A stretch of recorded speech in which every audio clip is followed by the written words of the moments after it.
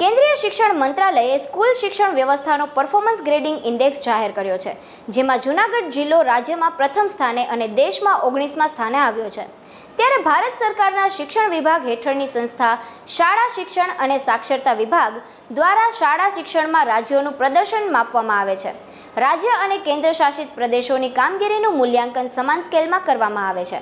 જેમાં ગઈકાલે performance grading ઇન્ડેક્સની વર્ષ બે હજાર ઓગણીસ વીસનો રિપોર્ટ જાહેર કરવામાં આવ્યો હતો, જેમાં જૂનાગઢ જિલ્લાને છસોમાંથી ચારસો સુડતાલીસ ગુણ પ્રાપ્ત થયા છે. આ મૂલ્યાંકનમાં શાળાનું ઇન્ફ્રાસ્ટ્રક્ચર શિક્ષકો મેનેજમેન્ટ અધ્યયન સુરક્ષા ડિજિટલ લર્નિંગ સહિતના તમામ પાસાઓ આવરી લેવામાં આવતા હોય છે.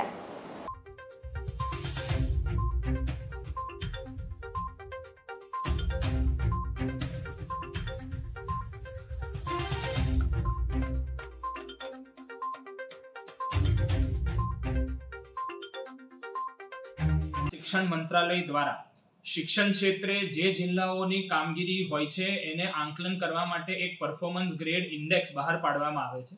મને કહેતા ખૂબ આનંદની લાગણી થાય છે કે એ પરફોર્મન્સ ગ્રેડ ઇન્ડેક્સમાં જુનાગઢે શિક્ષણ ક્ષેત્રે આખા રાજ્યમાં પ્રથમ ક્રમાંક હાંસલ કર્યો છે અને આખા દેશમાં છસો પચાસ જિલ્લાઓમાં ઓગણીસમો રેન્ક હાંસલ કર્યો છે.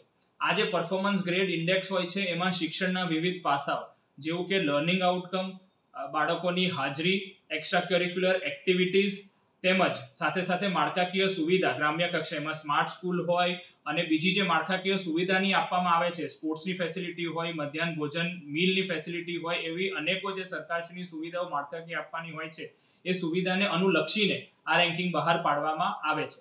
તો આ રેન્કિંગમાં શિક્ષણ ક્ષેત્રે હરણફાળ ભરતા જુનાગઢે આખા રાજ્યમાં પ્રથમ ક્રમાંક હાંસલ કર્યો છે અને ઉત્તર ઉત્તર પણ જુનાગઢ શિક્ષણ ક્ષેત્રે આ જ રીતે પ્રગતિ કરતું રહેશે.